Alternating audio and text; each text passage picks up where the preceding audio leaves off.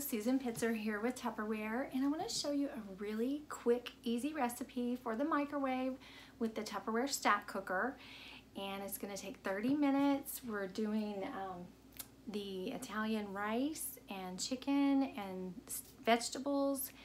And then on the top we're going to do a peach crisp. And so I'm going to show you really quickly how to put that together and it's all going to stack together and cook in the microwave for 30 minutes on the base, we have, um, I've got two cups of minute rice and a teaspoon of parsley flakes and a half a teaspoon of thyme and then a half a stick of butter. And I've just cut that into chunks. And then to this mixture um, and also a half a teaspoon of salt. And we're just gonna add a can of chicken broth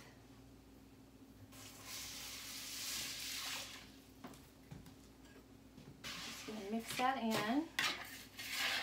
And that's in the three quart base of the stack cooker. Make sure the rice is all down in the liquid. And then we're gonna stack the medium casserole dish on top of that. And then I've just got uh, frozen mixed vegetables. You can use frozen or fresh, whatever you have on hand or whatever you prefer.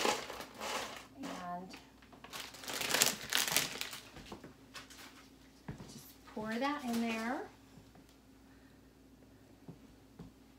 And on top of this is where we're gonna put the chicken breast. And I've bought the tenders and we're gonna dip this into some mayonnaise and then uh, roll that in some Italian breadcrumbs and sprinkle with some Parmesan and garlic powder. And then I'm gonna sprinkle it with paprika. And whenever you do these, I'll show you.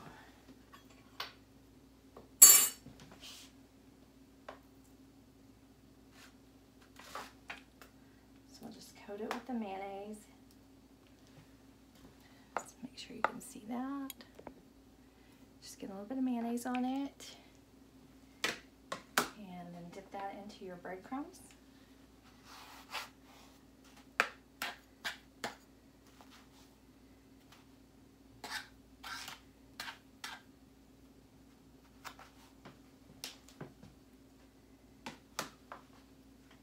I'm just going to sprinkle it with the Parmesan cheese. The Parmesan is not going to hurt the flakes, your breadcrumbs here. So do that. And then I'm going to sprinkle it with the garlic powder.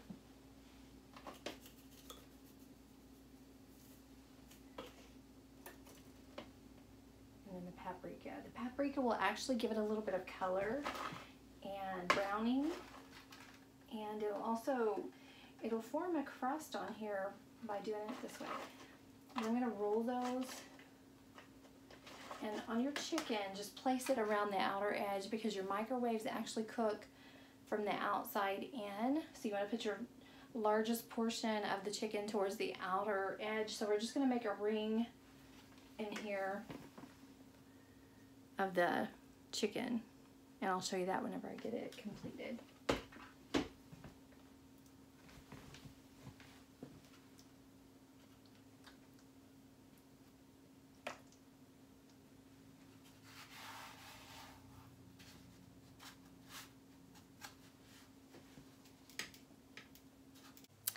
Okay, and there you see we've got the ring of the chicken.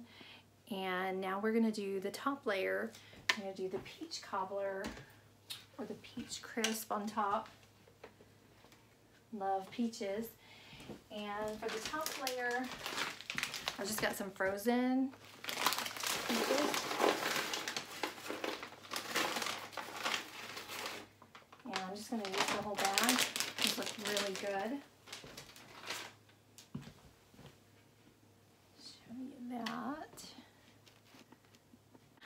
All so on the top layer, I've got the peaches and then we're gonna do the uh, crumble topping. And so I've mixed together 3 fourths cup of uh, brown sugar, 3 fourths a cup of flour, and 3 fourths a cup of oatmeal.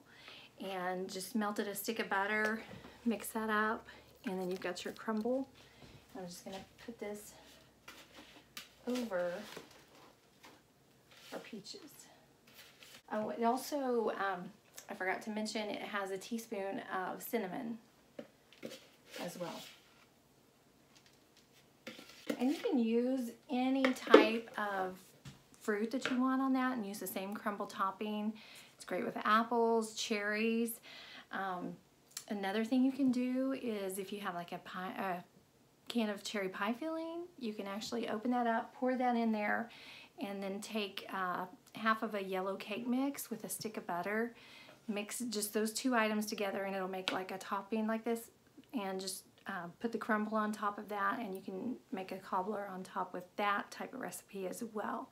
You can change it up to your liking and if you don't want to do a dessert, something sweet, you can actually do more vegetables or whatever else that you want to cook on the top layer.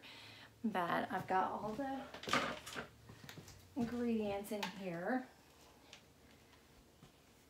And I'll show you what we're starting out with. And I'm gonna put that in the microwave for 30 minutes and then I'll be back and show you what we've got.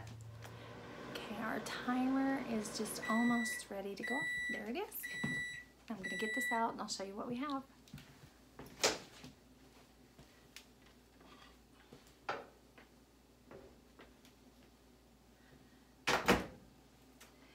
Love the, the fact that you can grab these by the handles on the sides. They don't get hot to the touch.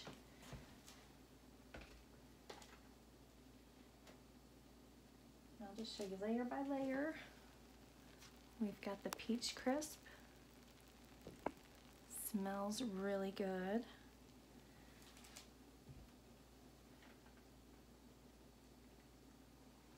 And then there's the chicken and vegetables. As you can see, it's kind of got a nice browning.